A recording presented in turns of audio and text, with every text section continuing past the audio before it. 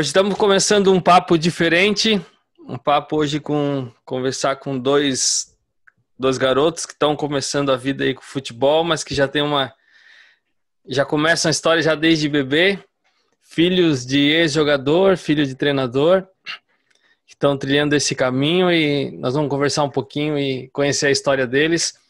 É, eles não me conheciam, eu já conhecia eles, porque já peguei eles no colo quando era um bebê. E, e conheci eles então no, no começo da, da caminhada deles. E conheci os pais, o Renato Tilão já deu a entrevista aqui, então hoje nós vamos conhecer um pouquinho deles e saber como é que tem sido essa trajetória deles no futebol. É, se apresentem aí, digam os nomes e a gente vai estar conversando um pouquinho aí sobre, sobre a história de vocês. Vamos começar com o Matheus aí. Bom, e aí, tudo bem? Certo? Não sei se começa assim mesmo, acho que tá. Isso tá bom, aí. né? Bom, como ele falou, eu sou o Matheus, filho do Tilão, né? O Renato Tilão, mais conhecido como Tilão. Tenho 16 anos. Qual. Bom, eu sou o Pedro. Pode Ah, falar, Pedro. Continuar. Sou o Pedro, também tenho 16 anos, sou o clone do Matheus. É, é isso, que eu, ia te eu ia- isso que eu ia perguntar. também. tu é o, tu é o clone né? Porque o Matheus nasceu primeiro? Não, eu nasci primeiro. Ele que é meu clone. Ah, é, tá. no caso ele falou errado, né? É, então. Tá, deixa eu começar pra- perguntando para vocês co- como é que como é que é como é que foi vocês é aqueles gêmeos que que a mãe vestia tudo igual mesma roupa Não, aquelas não, roupas ou odiava, tudo diferente odiava vestir igual. Comprava até, tipo, camisa ah, parecida, tipo, como é que eu posso dizer? Ah, com o mesmo desenho, sabe? Mas não podia ser cor igual.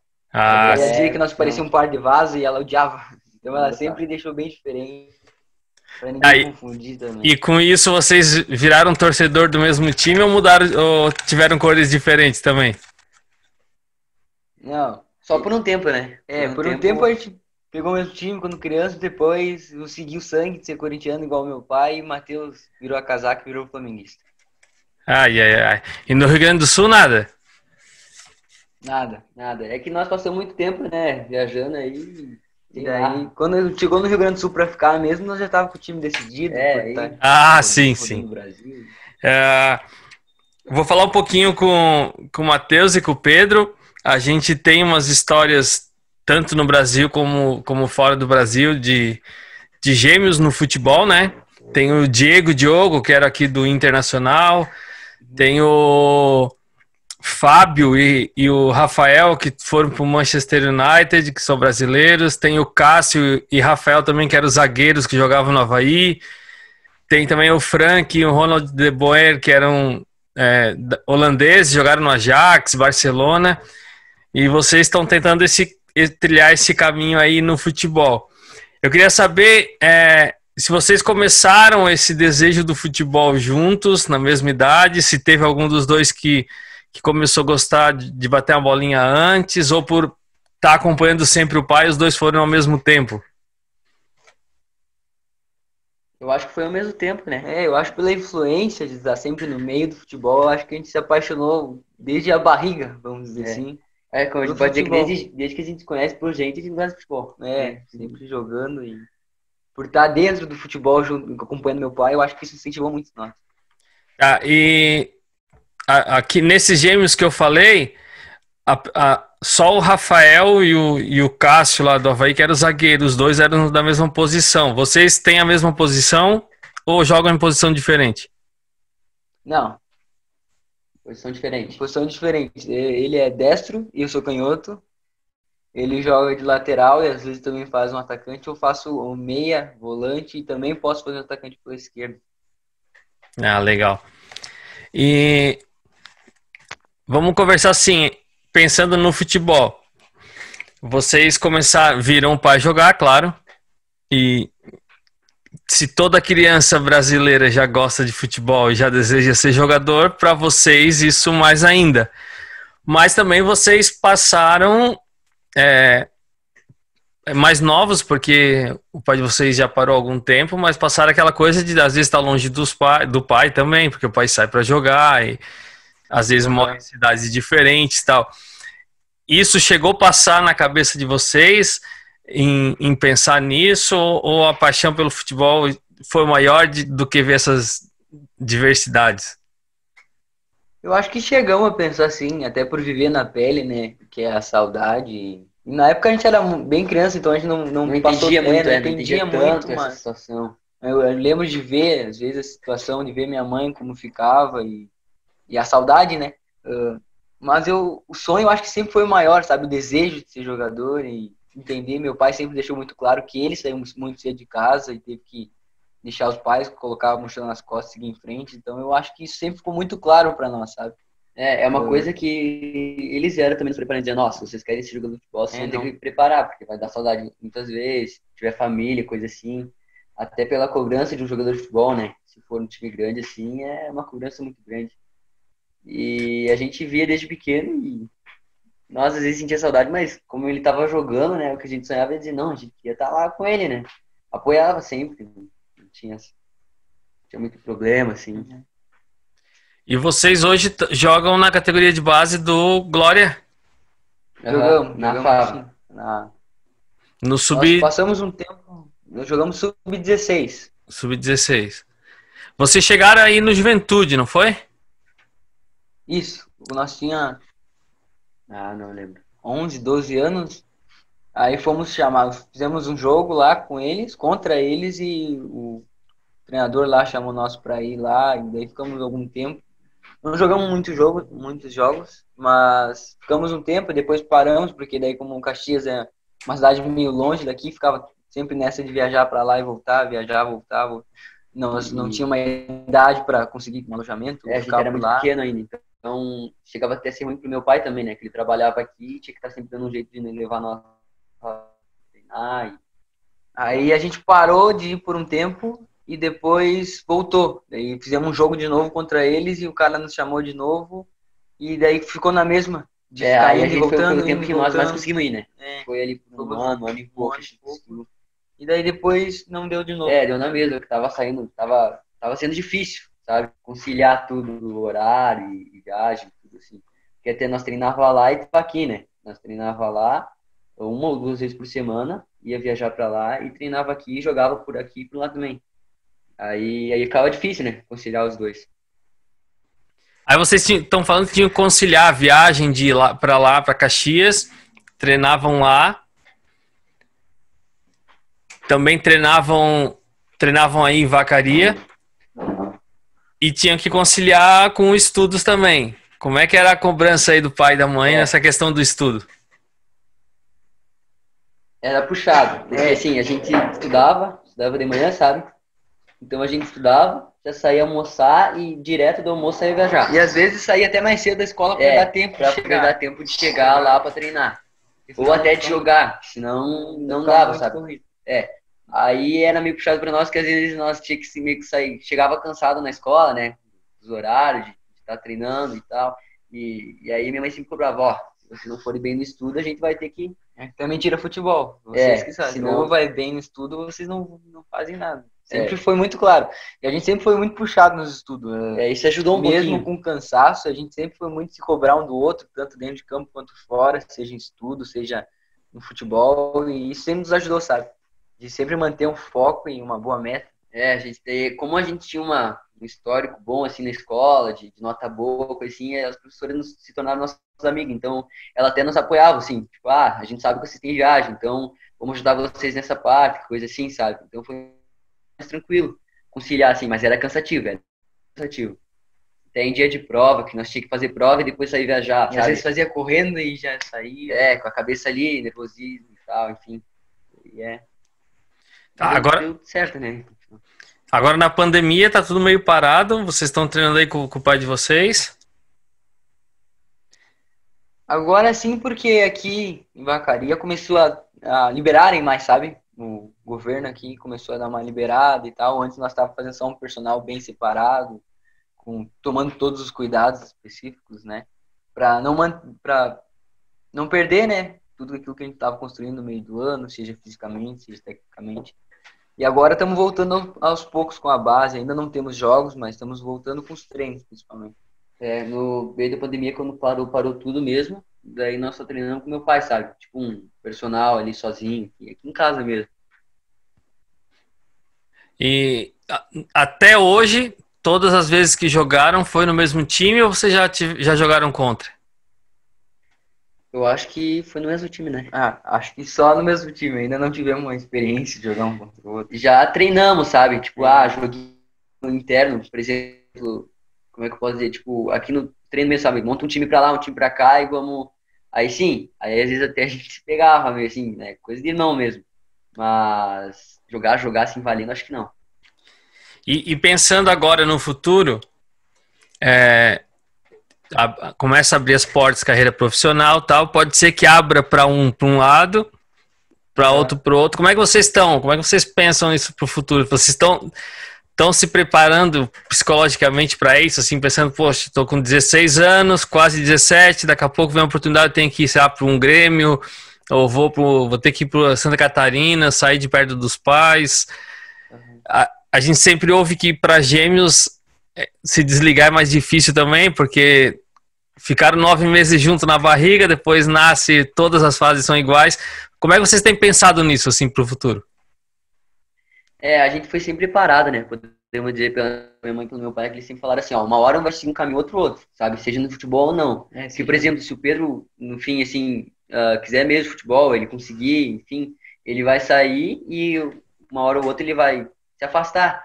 Então ela sempre sempre, como é que eu posso dizer? É, nos preparou, nos ensinou, dizendo, ó, uma hora vai chegar, vocês preparam isso, prepara a cabeça de vocês para isso, aproveitem enquanto podem, enquanto pode estar junto e tal. E a gente sabe que o futebol também é muito difícil, né? A gente não é. pode se iludir também, porque dependendo da situação, vai para lá, às vezes pode não dar certo, como pode dar, a gente tenta e continua acreditando sonha, né? vai dar, sonha. sonha e mantém o pé no chão também, não vai.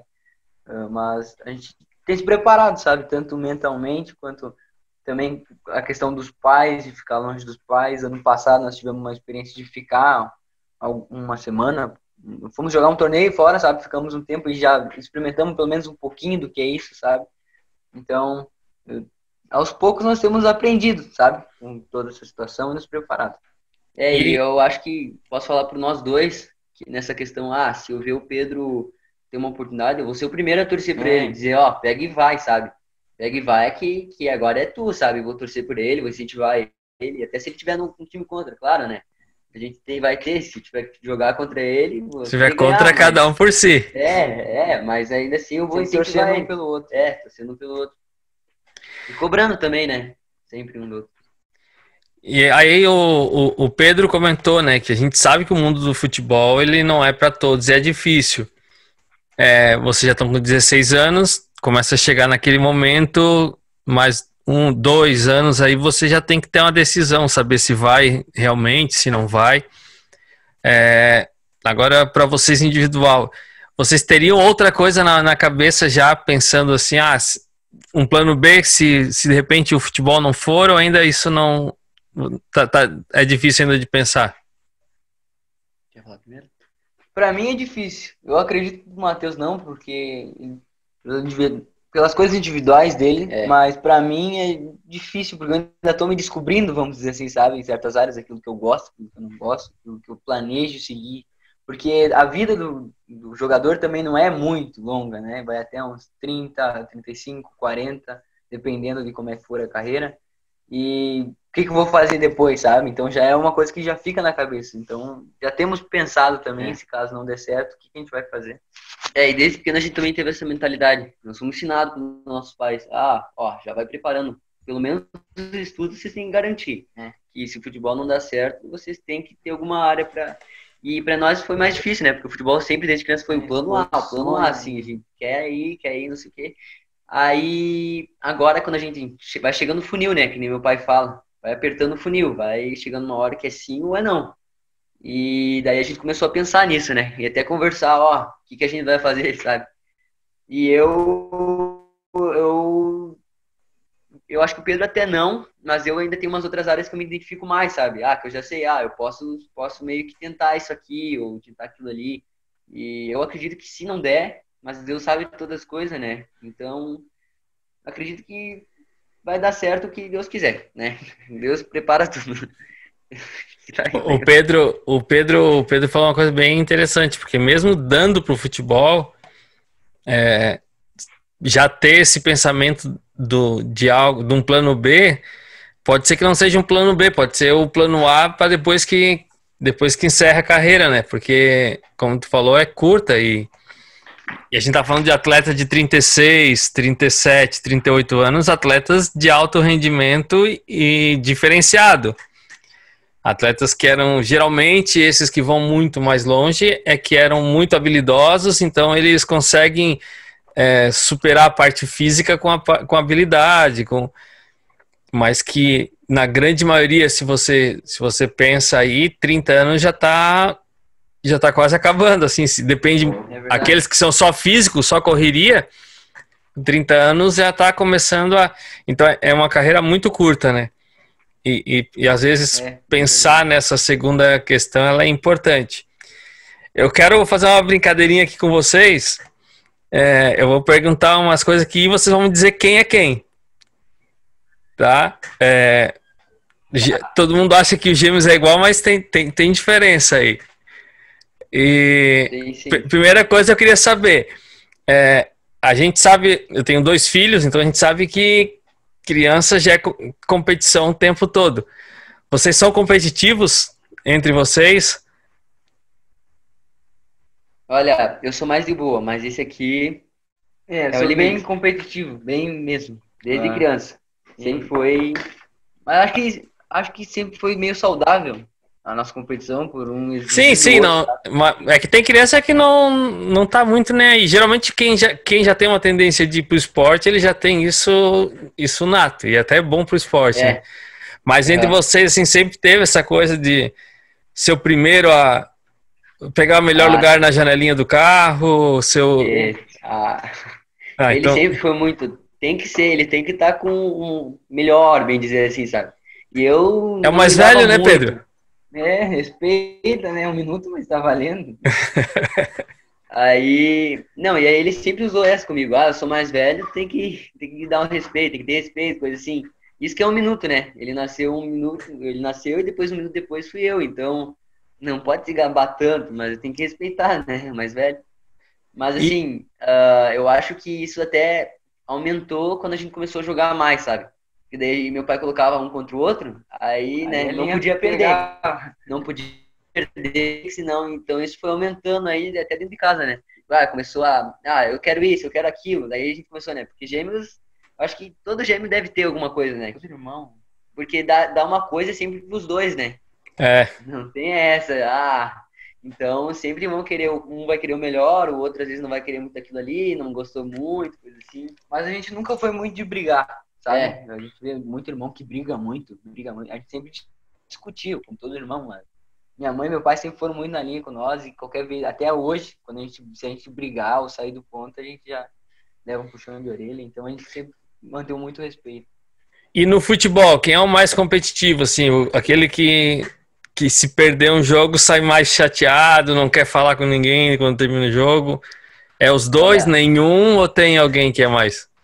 Acho que nós dois somos meio assim, mais, é, né, de sair... Na raça, né, do é, futebol, de, sair, de querer sair. ganhar a qualquer custo. E... É, e se cobrando também, né? É. Sair, ah, hoje eu não consegui, tô bravo comigo me cobrar, mesmo, né? É, não deu certo e hoje eu não tava no bom dia. Mas eu acho que ainda mais ele. Como eu falei, desde criança ali a gente jogava, e se eu ganhava, ele saía não falava comigo, sabe? Não. Nem papo comigo. Não sei se não travou. Não, mas o áudio ficou bom, pode continuar.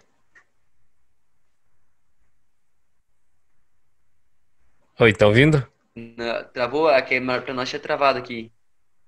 Não, mas, dá, mas, mas deu pra. Não, tá dando pra ouvir bem. Travou a imagem, mas o áudio continua. Tá, tá vou, vou fazer outra pergunta aqui. É, quem é o mais preguiçoso para levantar? Aquele que, o, aquele ah, que os pais tinham. Tem que chamar meia hora antes para acordar devagar, se arrumar. Uhum. É o Matheus? É, esse é o Matheus. Tanto eu é que foi... fui, meu pai acorda geralmente mais cedo, gosta de tomar um chimarrão e eu acordo sempre mais cedo, sabe? A gente sempre tem as tarefas de casa para fazer, para arrumar e tudo mais. E o Matheus sempre fica na cama. É, ele demora uma meia, uma hora para mais para conseguir acordar, acordar mesmo. Às vezes ele levanta, mas ainda tá dormindo. Não é à toa que foi o primeiro a sair, né? É, é verdade. Quem é o dos dois o mais habilidoso com a bola? Ah, ai, ai, ai, quero ver. Tem... Eu não, não sei, vou... não sei dizer. Não então, vou... é, Mateus. Eu, eu não, não, sei. não vou exaltar aqui, mas eu acho que é ele. É, eu não sei dizer. Essa eu não sei responder mesmo. É, tem que perguntar pro treinador. Né? Ai, ai, ai. O treinador não vai falar. Pois é, não sei. Então tá, vamos ficar no empate aí. E quem é o mais, o mais inteligente no jogo? Não, não, inteligência assim de, de, de, estudar mais, tá? Mas o que, tem, que pensa mais assim no jogo, consegue entender mais rápido aquilo que o treinador passa. Vai ser empate também? Eu acho que ele ainda. Eu acho que ele ainda, porque ele. Eu tô sempre mais quieto, sabe? Mas, tipo. Eu acho eu, até pela posição, é, né? Eu, eu ia falar. Volante meia é o cara que vai armar, que vai olhar o jogo e.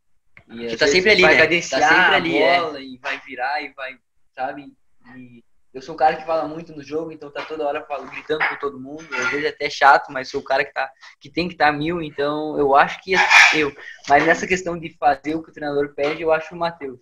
É, Quando tu não... pede, ele é, faz, sabe? É simples, mas faz aquilo que pede. É, o que eu ia falar é que depende muito da posição, né? Não, tem posição que é cobrado uma coisa, posição que é cobrado, às vezes, mais coisa em tal área, sim, depende muito da posição. Então, eu acho que aí não, não posso dizer que é melhor um ou melhor o outro, mas eu ainda acho melhor ele, porque eu sempre tô vendo ele na posição dele falando, ó, oh, a gente tem que fazer isso aqui, ó, oh, tá errado, uh, olha o sistema que nós estamos jogando, coisa assim. Tá sempre um pouco, pensando um pouquinho mais à frente, sabe? Uh, talvez não, mas, mas eu ainda acho ele por causa desse sentido, assim. Tá sempre olhando mais para frente, não só agora. Tá, e a última pergunta aqui, quem é o que treina mais? O que puxa a fila do, dos treinos físicos aí? Matheus. Com certeza, Matheus. É, é. A maioria, né? Eu é, tenho que dar às vezes um puxão nele que ele diz, ah, tô cansado, ah, coisinha. Eu digo, não, vamos. Vamos que a gente precisa, né? É, Puxar. às vezes eu dou um miguezão, mas... Então. O Matheus me puxa bastante. O Matheus compensa a preguiça de sair da cama então no treino depois. É. e, e nessa coisa de treinar junto, como é que é, para vocês, o que, que vocês pensam assim? por ser em dois, a mesma categoria, isso ajuda assim um, um puxar o outro quando um tá desanimado? Como é que como é que tem sido isso para vocês assim? Porque tem hora que você está falando, foi lá pro Juventude, aí vê que parece que vai vai melhorar as coisas, de repente volta de novo para se manter se manter assim focado nisso. Vocês acreditam que em, por ser por seus dois isso tem ajudado vocês? eu acho que eu posso dizer que bastante, né? É, que a gente tá sempre conversando, sabe? Ah, eu não tô muito legal, essas coisinhas até, tipo, ah, não ando jogando muito bem, eu falo pra ele, ó, não ando treinando muito bem, eu não acho isso, aquilo, daí ele vai me incentivando, ele vai falando, ó, eu acho que tu tem que melhorar nisso, isso, aquilo, mas tu não pode esquecer que também tem acertado nessa área, coisa assim, sabe? Ah, o que tu tá errando é isso, ó, coloca na cabeça que tem que fazer isso, coisa que a gente às vezes um não vê, o outro vê e ela vai lá e fala, sabe? Então acho que a gente pode a gente é até sortudo, né? Treinar junto, daí um sempre cobrando o outro, daí... além do pai, né? O pai já entende muito. Mas daí, ó, vi que tá, tá desanimado, um chegando nele e falou assim, ó, vamos treinar mais, vamos isso, aquilo. Uh, e até, ah, assim, por exemplo, aconteceu um, uma... Um... Aconteceu ano passado de um, de um time chegar nele e chamar ele, sabe? Pra, jogar um... Era uma, uma copinha, sabe? E aí eu não fiquei triste, eu fiquei, eu fiquei tipo, bah, eu vou, vou incentivar ele, e ele ao mesmo tempo que ele viu que não tinha me chamado também, ele me incentivou, ah, não, vamos continuar treinando, e no fim ainda chamaram os dois, sabe? No fim, nossa. Mas, sabe, é, é essa coisa de um incentivar o outro, mesmo até quando um fica mais atrás, ou coisa assim, tá sempre puxando o outro sempre que der. Eu acho que a gente é muito privilegiado também de não só ser irmãos, mas como pai, como treinador, né? Às vezes tá se cobrando muito dentro de campo, as coisas não estão dando certo, mas ele e meu pai já tem uma visão geral de, de como eu não me vi em campo, sabe? Então, ele, é. às vezes pode dar, ó, naquilo ali que tu realmente errou, ou não, tá certo, você que tá se cobrando demais. E a gente vai se ajudando, entende? Um suportando o outro. Eu acho que é bem importante isso, porque nas, às vezes, com cabeça de juventude, né? Na juventude, às vezes a gente tira o foco de algumas coisas e não, volta pro futebol, volta. Muitas vezes é da idade, né? É, e coisa de adolescente, né? Então. Mas a gente está falando do pai aqui, mas a mãe também, a mãe de vocês, eu conheci fazendo faculdade de educação física junto comigo. É, é mais mãezona ou é dessas também, por ser, ser da área também, de, de cobrar, de estar tá em cima, como é que é? Eu, é das duas, eu acho. É das eu duas, acho que é um pouco das duas, meio mesclado. Mais equilibrado, né? Mas... É. Porque assim, eu posso dizer que a nossa família inteira é esportista, né? Tá, tem sempre alguém envolvido com esporte. E aí ela sempre foi de de cobrar muito, sabe? Porque ela acompanhou meu pai, então ela sempre cobrava meu pai também, tipo, auxiliando ele, coisa assim, dizendo, vai lá, ó, esse jogo aí tu não jogou muito bem. E ela meio que sempre fez isso também com nós, né? É. Ó, esse jogo aí, nossa, tu tava meio mal, Matheus. Nossa, é, então, tava, também elogiando, ó, é, hoje vocês tava foram bem, bem, hoje vocês foram bem, olha, fez uma baita, uma jogada, fez uma partida boa, coisa assim, então... Então, mas também não deixando de falar, ó, viu que a gente tava triste dizer, não, não desanima, sabe? Só foi uma partida, coisa assim, sabe? Os elogios deles são sempre os mesmos, tá bom, mas pode melhorar. É sempre é, é, a mesma é coisa. Lado esportista, mas, mas ela também, ela ainda mais sendo essa mãe, sabe? De chegar e dizer, não, vai melhorar, sabe? Ah, vamos treinar, treina mais, isso, aquilo, sabe? De mãe mesmo, sabe? De, de, de abraçar. É, eu tô perguntando porque geralmente o pai, naturalmente, se não é treinador, o pai já cobra mais do que a mãe. O pai, uhum. o pai vai em cima e a mãe vem dar o carinho e tal. Aí o pai sendo treinador, eu, eu penso, eu olho por mim, a gente acaba cobrando, querendo ser mais, é mais exigente também. E a mãe é. sendo do, do meio também da, do, do esporte, acaba sendo menos, é. passando menos a mão na cabeça também. Então a cobrança acaba sendo, sendo dos dois lados, né? É. Uhum. E, e, e, tem a Mana que, tá, que veio. Qual a diferença dela de idade para vocês? Oito anos. Oito anos. Oito anos. Ela é do, do esporte também? Gosta de estar tá junto? Como é que é? Eu sei. Ama. É. Tá sempre, sempre. Ela tá sempre junto. Meu pai vai dar aula, seja pra, pra gurizada menor ou pra adulto, mais velha, assim. pra adulta. Ela tá sempre e tá junto, ela gosta. Ela ama estar tá correndo, andando de bicicleta, jogando bola, qualquer coisa que envolve ar livre, ela tá junto. É, até que eu falei ali que a gente treinou meio pandemia ali, só o personal com meu pai, ela via a gente treinando, ela queria treinar junto, é, sabe? Não importa se, se o, uh, tipo, que a gente tava fazendo era pesado pra ela, pra ser uma criança, se tinha que correr mais, e ela vai, sabe? Ela não tá nem aí. Uh, e ali... A gente tava, tava correndo no campo, sabe? E aí ela chegou lá, viu, tava, todo, tava lá toda faceira, quis correr também. E pra nós, que já era meio puxado, ela tava lá correndo. Não tinha problema pra ela. E eu vi que ali na, na escolinha do, do Glória tem feminino também, né? Tem. Uhum. Ela tá jogando também ah. futebol ou gosta mais da corrida? Tá gosta treinando futebol. futebol. A gente até incentivou ela pra ela ser maiorzinha, sabe? Ela é a maior da turma dela, da idade dela. E ela vôlei, é, né? porque por ser alta e, joga, e tem uma e até porque o feminino no vôlei é um pouquinho maior, né? O futebol agora, agora que ele tá começando a ir mais, uhum. mais conhecido. Mas ela não, ela diz, eu gosto de futebol. Quero ser jogadora, não quero ser jogadora. Igual meu pai, ela É porque vocês pegaram ainda uma parte do pai de vocês jogando, ela já não pegou, né? Ela, ela já não pegou. É embora é, o sempre... embora o Tilão jogue ainda, né, uns uhum. da os veteranos aí, né? É, ele só que ainda que não é tanto, né? Por exemplo, nós era tipo, toda semana, todo mês, era envolvido com isso direto, até por ser o sustento, né? Da família, nós tá sempre indo para lá, para cá. Ela acho que viu meu pai jogar, mas ainda não é tão, tão como é que eu posso dizer, tão exigido que nem nós vivemos, né? Tipo, ah, precisa, ele precisa jogar bem aqui. Não, é mais veterano, é mais tranquilo. É. Ela acho que ela ainda cresceu mais vendo nós, né? Treinar e sempre. Mas eu acredito que ela também foi muito influenciada porque todo o legado que ficou, né? Então as pessoas chegam, sempre chegam no meu pai e ele sempre fez um treinador e um jogador, esse jogador, então para ela, nossa, meu pai é esse jogador, sabe? É, então ela sempre foi muito influenciada, nossa, eu quero ser jogador, meu pai foi jogador. Então acho que ela também foi muito influenciada, apesar de não viver esse tempo. Tá, pra gente encerrar aí, eu queria que cada um pode ser, começar pelo mais novinho, pelo Pedro aí. É, eu queria que deixasse assim, é, o que, que você pensa é, tem de, de, de planos para ti, de metas, para esse ano já está praticamente encerrado, a gente vai ter que manter o físico para não, não perder o ano, uhum. mas o que, que pensa para o ano que vem, assim? Como é, vocês estão em, em que, que ano na escola? Segundo ano do ensino médio. Então, o ano que vem é o último ano de, de escola, é, já começa a entrar no sub-17, já quase indo para um júnior, idade de competições importantes. É, cada um individual, um tapa o ouvido aí para não ouvir o que do outro, para não copiar. E o que que, o que que pensa tem planejado? A gente, a gente tem as metas longas e a gente precisa ter algumas metas curtas para a gente seguindo, assim, né? Eu sei que eu, eu vejo vocês no Facebook, vocês têm bastante contato também com amigos na igreja e estão sempre envolvidos tal.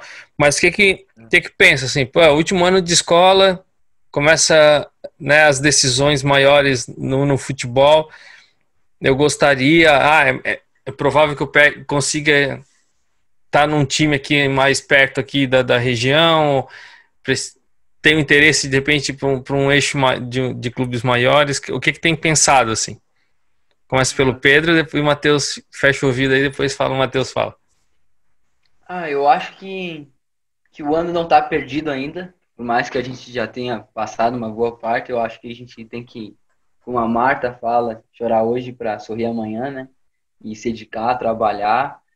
Entender que o futebol não é fácil e pode dar certo como pode dar errado. Como você falou, a gente é muito envolvido com a igreja, então a gente é, a gente mantém a fé em Deus que pode dar certo, sabe? A gente sabe que Deus está no controle de tudo, que se der certo, tudo bem, se não der também, tudo bem. Uh, mas a gente sonha com isso, sabe?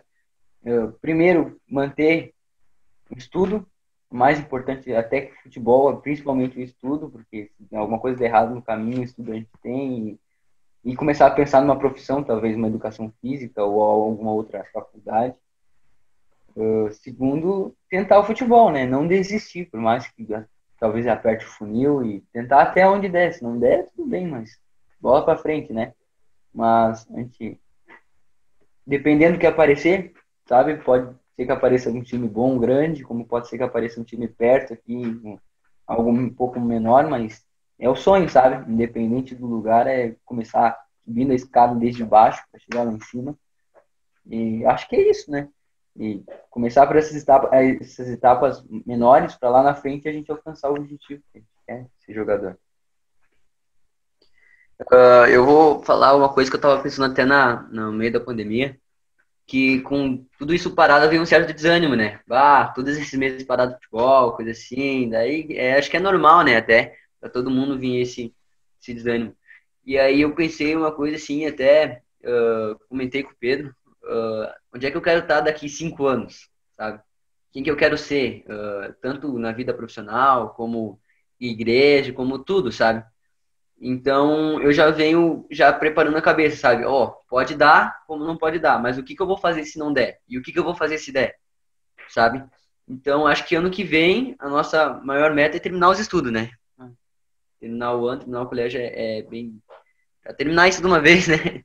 Uh, e o futebol, eu acho que Deus vai preparar o caminho, né? Vai apertar o funil. Isso, isso a gente já sabe, já temos que estar preparado, a gente já foi avisado, né? Desde criança meu pai fala, vai chegar uma idade que é sim ou não. Então, a gente tem que estar preparado para isso e deixar Deus, Deus escolher. Ah, se vai, se tiver, um, se tiver uma oportunidade, um clube, eu acho que eu posso falar para nós dois que, que a gente vai querer ir, né? Uhum. Mas é aquela dependência de Deus. Se, se Deus disser que sim, a gente vai, se não, também. Então, uh, sonhando sempre. Se tiver que ir para um lugar assim, ah, que não seja tudo aquilo, mas que, que seja para ir, nós vamos, né? Mesmo tem que passar perrengue, coisa assim. Eu acho que, que é um preço, né? É como o Pedro falou, uma escada. A gente não começa lá de cima, a gente começa lá de baixo. E, e vai subindo, né? Conforme uh, se a carreira der certo, a gente sobe lá em cima. Mas o nosso sonho é jogar mesmo profissionalmente. Então, independente do lugar que a gente estiver, estiver jogando ali, é, é isso e preparar também a questão ministerialmente, ministerialmente, né? Sonhos assim que a gente tem dentro da igreja, coisa assim. Tá sempre tá sempre crescendo, né? Tudo é um aprendizado. Tanto fases boas como fases ruins, a gente tá crescendo, né? É, e independente se virar jogador ou não, se, se tem uma outra profissão ou não, sabe que pessoas nós vamos ser em meio a é. tudo isso, porque tem muito jogador que não tem a cabeça boa e joga em time grande, mas perde tudo por causa de farra, por causa de então, a, a, acredito que meu pai sempre colocou uma mentalidade em nós, e através da igreja e todas as situações que nós vivemos, de, de ter uma cabeça boa, sabe? Para lidar com isso, para não se perder nesse mundo, não se perder em drogas, vamos dizer assim também. Então, em meio mesmo, em meio ao futebol, estudos ou qualquer profissão, a gente tá muito preocupado também com quem a gente vai ser em meio a tudo isso, sabe? E o futebol também influencia muito nisso, né? Porque é. desde criança a gente foi vendo muito guri que chegou lá de um jeito, saiu do outro. Uns que chegaram bem virados, sabe? Com uma mentalidade totalmente e fora. O futebol influenciou a daí, melhorar. É, eles mudaram até porque tem muita gente, muito guri que não tem pai, muito guri que não tem mãe, chega lá e se depara com professores que dão, dão essa atenção a mais, às vezes, sabe? Cuido, que às vezes cobro, que, que falam mais, às vezes. É, com essa, com essa disciplina mesmo. Então, eu acho que isso a gente vai levar para a vida, né? A disciplina dentro do campo, como é. fora do campo, né? De respeitar, de se cobrar, de, de ir atrás, né? Que futebol tem que estar, tá, tem que ter garra, né? É como é vencer, é que nem os obstáculos da vida. Às vezes a gente vai se deparar com coisa que, que é só na garra, né? Nós temos que ir mesmo que o não, o não já tem todo mundo, né? Tem que correr atrás é, do sim. É verdade, isso aí. E então, e, então né, nessa questão assim, de tão, como é que tá o coração de pensar que é, prepara a malinha e vai, tempo longe de família e tal.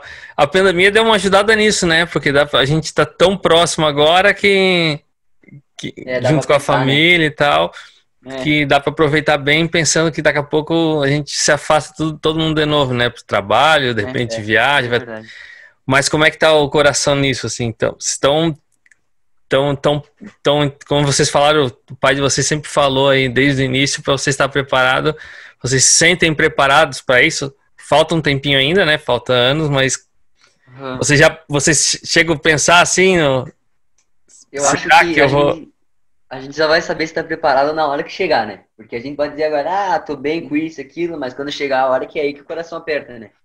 Eu acho que se a gente pensar, ah, por a gente viver junto, tanto eu como ele, né? Sempre, sempre tudo que a gente fazia era junto, tanto como o primeiro dia na escola, era junto, sabe? Tudo que a gente fazia. Então, afastar isso, eu acho que isso vai apertar um pouco o coração. E já aperta, se nós começar a pensar tanto assim a longo prazo. Ficar longe da família, longe da irmã, longe dos amigos até. Mas eu acho que, como a gente já vem preparando isso, acho que vai ser um pouco mais fácil. Não vou dizer que, vai, que nós não vamos sentir assim, essa perda, sabe? De estar tá longe, de... mas eu acho que vai ser um pouquinho mais fácil porque a gente já está focado, né? Ó, porque a gente quer isso. E querendo ou não, isso ajuda, né? Isso ajuda bastante. Acho que eu posso dizer por nós dois nessa parte, né? Não sei se tá diferente. É, é como ele falou, a gente pode dizer que tá preparado, chegar na hora e não tá. Então eu acredito que uma parte a gente pode estar tá preparado e outra a gente só vai ver mesmo na prática. Mas, uma coisa que eu esqueci, uma coisa que eu esqueci de perguntar, fora do futebol, é, vocês têm as mesmas características assim das coisas que gostam? Eu vi que o Matheus toca guitarra ali, é questão de música e tal. É, vocês tudo tudo parecido ou tem coisas que o, que o Pedro já não gosta tanto, tipo música, já, vocês têm as coisas separadas, assim, como é que é, fora do futebol? Acho tem muito gosto muito diferente, sabe? É, muito diferente. Mas também uns bem parecidos. É. Questão de música, escutar música, a gente escuta música bem parecida assim, às vezes eu pego ele escutando uma música que eu não conheço e digo, ó, oh, gostei dessa música aí, qual que música que é, enfim, porque é, é um estilo mais é parecido, é sabe? Não é igual, mas é, é parecido, né? É, o Matheus, ele toca violão, guitarra, baixo, teclado e eu toco só bateria, mas eu só gosto da bateria, sabe? É porque teu tio toca bateria, né? É, é, meu tio, ele toca na Argentina, ele fez um tour, é tour o nome? É, ano passado pela Europa, então ele sempre me influenciou muito. Nós dois, tanto na área da música quanto na área do futebol, nós sempre fomos muito apegados, sabe? E a gente acabou seguindo os passos deles. Até por estar envolvido pai, com a igreja, né? Dentro da é. igreja, essa, essa área aí. Na, na igreja envolve muito a música também, como a gente estava muito envolvido, então sempre caminhamos em direção da música. E é uma das coisas que o Matheus planeja fora do futebol. É algo ah, semelhante à música, sabe? Então é isso aí, gente. Quero, vamos encerrar o, esse papo aí. Duas jovens, dois jovens talentos aí tentando trilhar o caminho no futebol, tendo já uma referência em casa. Isso é uma coisa muito boa. Quem dera, quando criança, todas as crianças que desejam futebol tivessem essa referência em casa, né? Que não mostrasse só o caminho, mas mostrasse as dificuldades também. E tem aí o Bruno Henrique famoso, né? Que agora, quem sabe, vem o Pedro Henrique e o Matheus Henrique aí pra gente. Tomara, né? Tomara, né? Se quiser, tomara. Então, Deus abençoe aí esse novo, novo tempo aí, depois da, dessa pandemia, tudo tá voltando, que, que Deus abençoe para que tudo volte. Abençoe, Deus abençoe vocês no ano que vem aí nos estudos, terminar esse estudo aí. Quem sabe daqui a pouco a gente não faça mais um, um novo vídeo aí lá na frente, vocês, o primeiro contrato profissional ah. e contando um pouquinho da história de vocês aí. Obrigado por esse tempo aí. E podem, quiser aí deixar um, um abraço aí pro, pro pessoal que vai estar assistindo aí. Pede pra galera aí, os amigos, é, se inscrever no canal, assinalar ali o sininho para receber os vídeos. A última mensagem de vocês aí. Então tá, para nós foi um privilégio estar tá, tá junto aí. Muito obrigado pelo convite. Uh, pessoal que estiver assistindo aí, dá um like aí no vídeo, segue o canal e coloca o sininho para apoiar aí o trabalho bem feito. E é um mais um trabalho. Obrigado pelas palavras, uh, tanto nós quanto meu pai. Meu pai sempre fala muito do pessoal que ele conviveu, do pessoal que ele, que ele teve de amizade. Então, para nós sempre foi um prazer conhecer essas pessoas que ele fala. Então, muito obrigado pelo privilégio. Muito obrigado, foi um prazer aí participar de tudo. Um abração. E mais, né? É, quem sabe daqui a nós. pouco, quem sabe daqui a pouco a gente faz um aí mesmo. Eu vou aí visitar e conhecer é, antes de voltar é, para a Indonésia. Se der tudo certo, a gente ah. aparece aí, a gente faz um ao vivo aí. Um abração. Traga um casaco, que aqui é de lá. um abração Mas, aí. Ali, Pode falar. Como tu falou ali, só uh, pra terminar. É um sonho para nós, né? Se poder fazer um ali com o primeiro contrato, coisas assim. Pra nós sempre foi um sonho, né? E ainda mais, se Deus quiser, né? Enfim, brigadão por tudo aí. Um abração e Deus abençoe. Abração. Deus abençoe. Valeu.